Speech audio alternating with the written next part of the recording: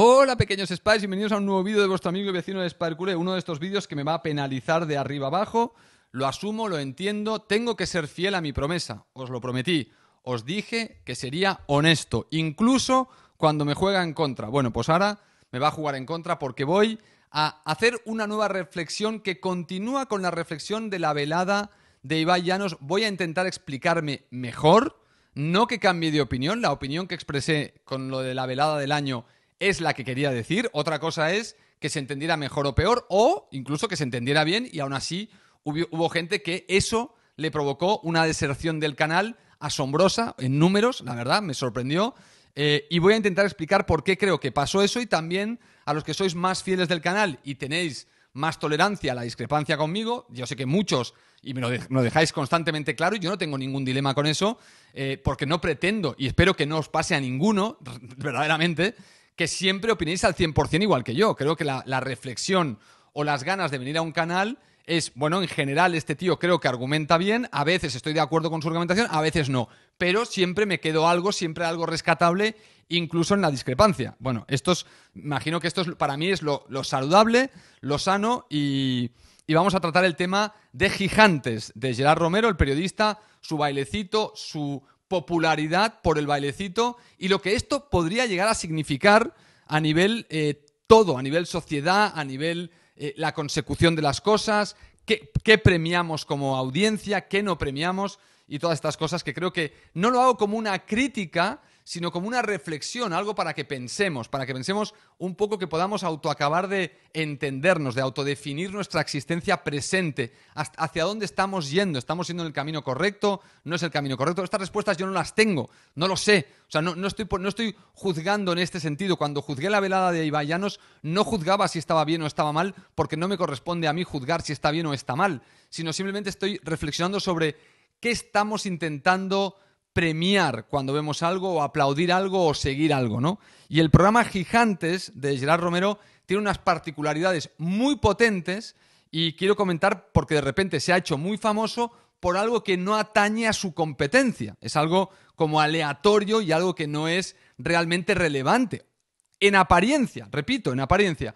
Y quiero también, lo primero antes, matizar o explicaros un poco por qué no debéis, desde mi punto de vista, aunque podéis escaparos del canal cuando queráis, no debéis sentiros mal, que, si os sentís mal, también os tenéis que joder un poco, porque a veces os puede pasar, no significa que no os vayan a decir siempre cosas para haceros sentir bien. Habrá veces que escucharéis cosas que os harán sentir mal. Bueno, prepararos, porque cuando vas al médico, lo repito, y te dice que te va a meter el dedo por el culo, no te sienta bien. O sea, te lo digo que no es, ¡ah, qué bien! Igual algunos sí, a mí no. A mí fue como, ¿dónde está la salida que salgo corriendo? Y, entonces tu cerebro te dice, no, tío, te, tienes que, te tiene que pasar esto porque tienen que verte la próstata. No sea que estés jodido la próstata, tengas un cáncer y la palmes. Entonces, claro, déjate que te. Claro, claro, bueno, vale, pues ya está. Entonces entiendes que no te gusta lo que te acaban de decir, menos lo que te van a hacer, pero entiendes que es lo que tienes que hacer para estar bien. Bueno, pues vale, para asegurarte que sigues bien. Bueno, eh, pero no te tomes, no te tomes tan a pecho que alguien, incluso alguien quien te gusta, por ejemplo yo,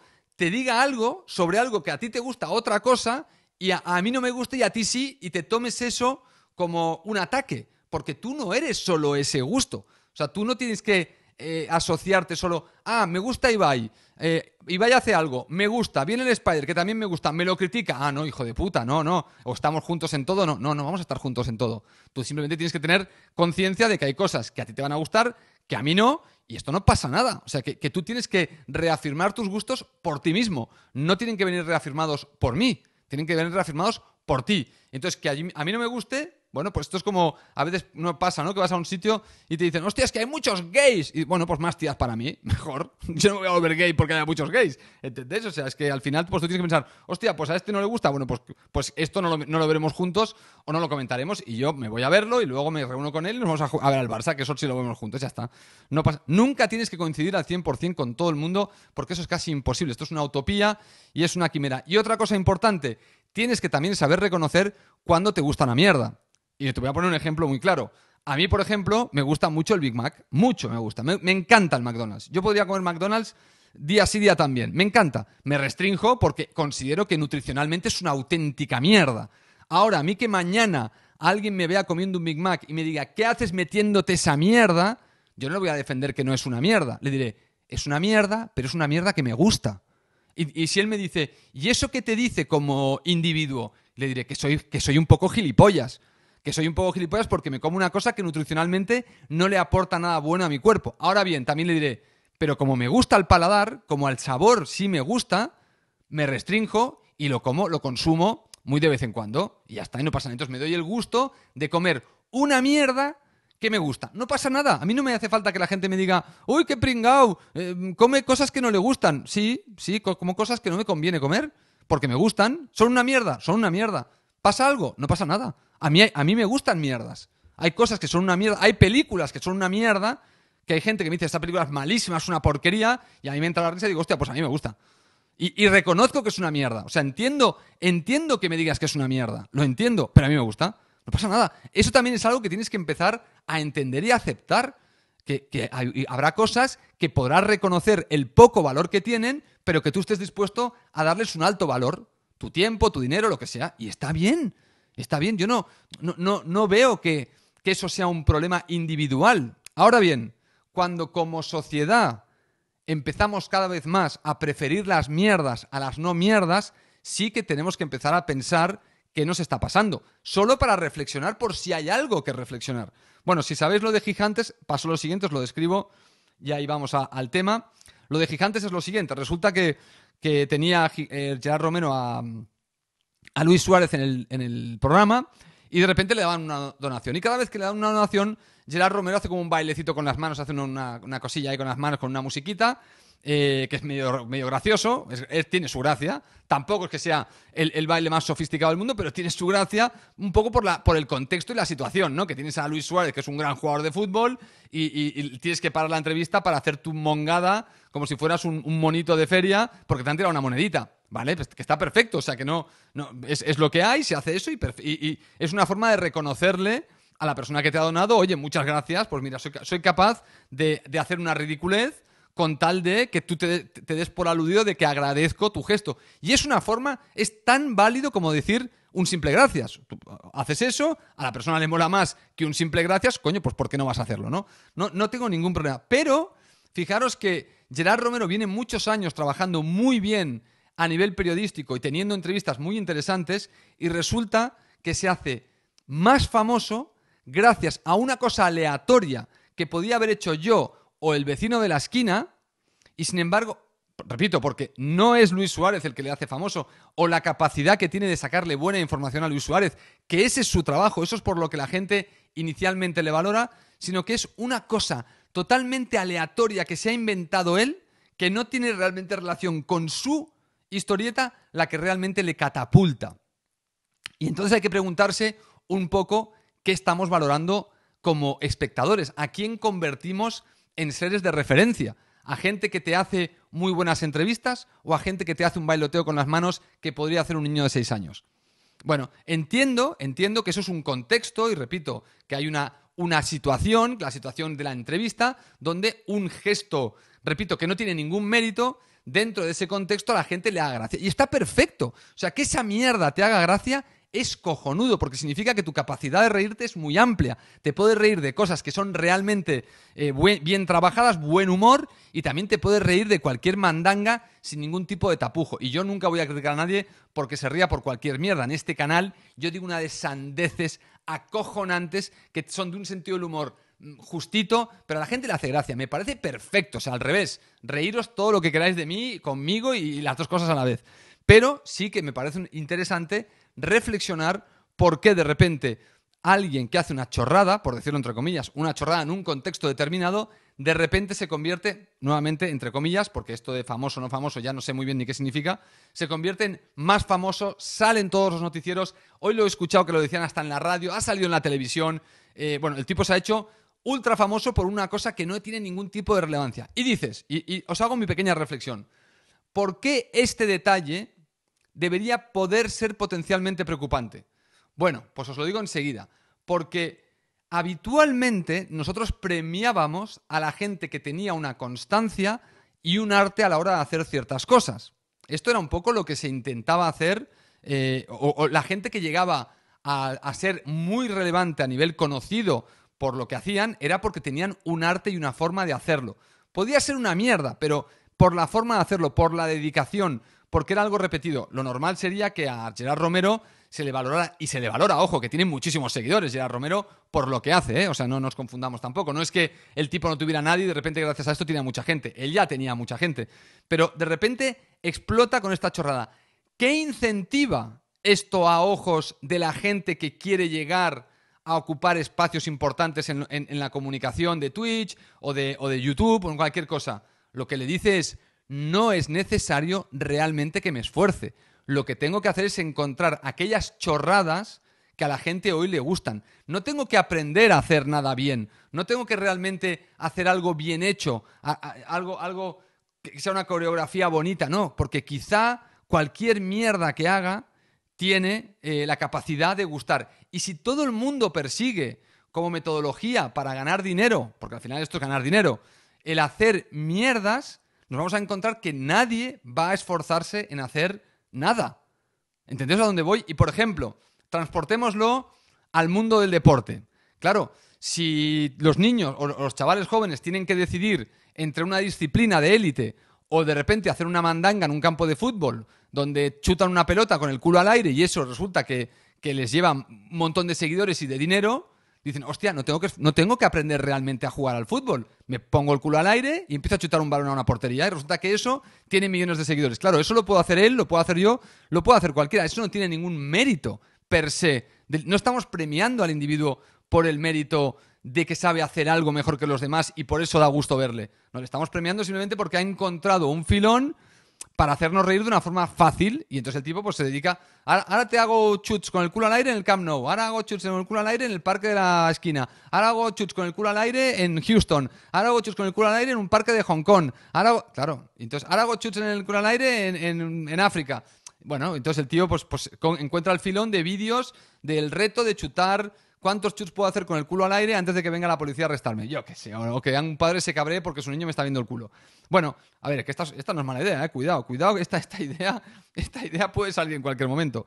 Bueno, simplemente quería hacer esta nueva reflexión que, repito, mm, o sea, que, pase, pues pasa, no pasa nada. Que haya gente que el bailecito le esté gustando y, esté, y que haya gente que, que haga vídeos sobre este bailecito y esto esté gustando, repito, no pasa nada. Eh, que a mí no me motive en exceso, porque ya os digo que a mí e, este hecho en concreto no me motiva en exceso, no quita que, que esté mal o bien. O sea, repito, porque yo sigo comiendo Big Macs. Mientras, mientras eso, para mí el problema va a ser, mientras yo no incentive con mis gustos al Big Mac a que toda la comida sea una basura, no hay problema, porque entonces simplemente podríamos decir que estamos abriendo el espectro de posibilidades entre comida basura y comida gourmet.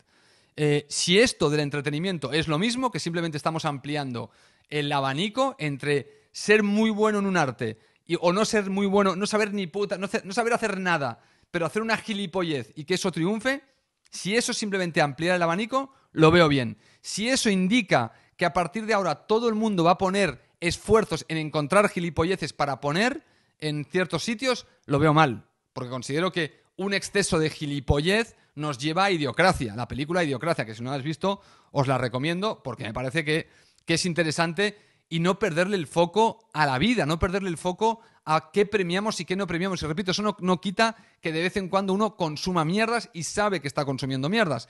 Pero no estaría bien que toda la sociedad de golpe se volcara solo con las mierdas y no premiara a Gerard Romero por el buen trabajo que hace como periodista. Es decir, que si dentro de tres días Gerard Romero se cansa de hacer el bailecito, hace otra cosa y se le van muchos de su canal porque ya no hace el bailecito, bueno, pues entonces eh, ahí es donde yo vería un cierto problema. Ahora, si el bailecito simplemente provoca unas risas, eso le permite conseguir gente, esa gente ve su programa y le gusta lo que hace más allá del bailecito, bueno, entonces diré, cojonudo, simplemente ha sido una especie de ejercicio de marketing que le ha salido bien. Con lo cual, felicidades Gerard por, por haber hecho esto. Ojalá me pase a mí, evidentemente, ojalá yo haga una chorrada y la chorrada explote y eso me suponga triplicar el número de suscriptores de un día para otro. Me parecería acojonante. Evidentemente, no, no me tiraré yo particularmente a hacer eso constantemente porque no, no es lo mío pero, bueno, no es lo mío. Voy vestido de Spiderman y hago estos vídeos de mierda. Bueno, eh, ¿me entendéis, no?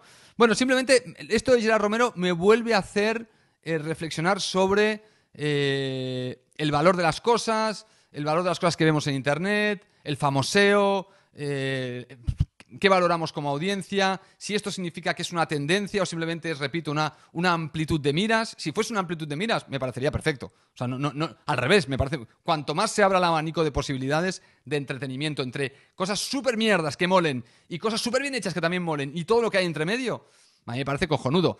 Ahora, repito, si, si esto es indicativo de que vamos a estar premiando cada vez más la gilipollez, y no tanto el arte de, hacer algo bien porque se, se, hace mejor que los demás y poca gente es capaz de hacerlo a ese nivel, ahí es donde vería un problema. Que repito, no sé dónde estamos. O sea, yo no estoy ahora dando una valoración de dónde está la sociedad porque no lo sé. Eh, de hecho, bueno, no lo sé. Si me preguntas a mí, me inclino a pensar, quizás porque soy optimista, que estamos abriendo el abanico. O sea, quiero pensar que no es tan eh, dramático como pensar que estamos yendo a la a idiocracia. Pero, pero no cierro la puerta a que sí estemos siguiendo a idiocracia. Es decir, que el 80% de mi cabeza me dice, no, Spider, estamos abriendo el abanico, y hay un 20% que dice, eh, hostia, mm, quizá no. Quizá, cuidado que quizá si esto se descontrola, el incentivo para hacer solo gilipolleces empieza a ser muy alto. Y si es muy alto el incentivo a hacer gilipolleces y la barrera de entrada para hacer gilipolleces es muy baja, va a entrar todo el mundo a hacer gilipolleces. Y entonces van a tapar aquellos que hacen cosas interesantes. Bueno, mm, ahí, ahí lo dejo. Es una reflexión, es lo mismo que hice en el vídeo de Ibai, exactamente lo mismo, la misma reflexión. No era juzgar más allá de decir, más allá de decir que la velada de boxeo a nivel boxeo no era buena, igual que el baile de Gerard Romero no tiene ningún mérito ni es un buen baile. A nivel artístico, a nivel baile, dirás, hombre, pero ya lo sabemos, que nadie dice que Gerard Romero sea un bailarín profesional. Entonces, ¿por qué te mola lo que hace? Por el contexto, por la gracia, por la parodia, porque por la burla, por la risa al baile. Y esto es lo que costó entender en el vídeo de Ibayanos, que no está mal que te pase eso, que es que no está mal, que yo, Mary Jane, se tropieza eh, con una cera en la calle, no debería mm, descojonarme de la risa, porque coño, estaba a punto de caerse y de hacerse daño, y sin embargo me descojono. ¿Es una mierda reírse de eso? Hombre, se mire por donde se mire. ¿Por qué te hace gracia? Bueno, porque se produce en un contexto donde además se supone que no te puedes reír y entonces pues te entra más la risa todavía. O sea que tampoco estoy entrando a la crítica, es que repito, estoy intentando hacer una reflexión casi en voz alta eh, para quien quiera tomarla, no, no, para quien quiera sentirse juzgado, que este es la, el problema que pasó con el vídeo de Ibai y es el riesgo que corro nuevamente haciendo este vídeo hoy sobre lo de gigantes. Bueno, son riesgos que corro porque son reflexiones que quiero hacer off topic hasta que lance en septiembre el canal de Peter Parking, que por cierto, repito, buscarlo en Google, Peter Parking, hay un par de vídeos de hace mucho tiempo, eh, pero esa idea se va a repescar seguramente a partir del mes de septiembre. Y estos vídeos que hago aquí ya no los haré aquí, los haré en ese otro canal. Pero como ahora no tengo otro canal, los hago aquí porque si no, siento que puedo llegar a explotar si no doy la mía o no doy mi opinión. Que lo normal, y repito, lo normal sería simplemente hacer un vídeo mm, diciendo qué guay, qué bien, hoy sí, qué, qué, guapo lo de Gerard Romero, ay, qué bien, qué, qué, divertido. Claro, esto sería cojonudo y me, seguramente 200 mm, subs nuevos, claro, seguro. Pero estaría faltando a mi palabra de deciros realmente lo que pienso. Y lo que pienso mm, todavía no lo sé exactamente qué es, pero sí eh, empiezo a ver un poco los elementos para empezar a poner encima de la mesa un debate eh, societario sobre qué valoramos y qué no valoramos de la gente que sabe hacer ciertas cosas, cómo les impulsamos y por qué les impulsamos y por qué no les impulsamos, ¿no? Porque en este caso a Gerard Romero habría que impulsarle porque tenía a, Luis Suárez en el programa, no porque haga un bailecito teniendo a Luis Suárez en el programa. Bueno, señores, es, es como apuntar al sitio equivocado, parece, ¿no? En cierto modo. Pero repito, tú apuntas donde te da la puta gana. O sea, que es así de simple. Señores, lo voy a dejar aquí. Nos vemos en el próximo vídeo de vuestro amigo y vecino de Sparkle. Hasta la próxima. Suscríbete,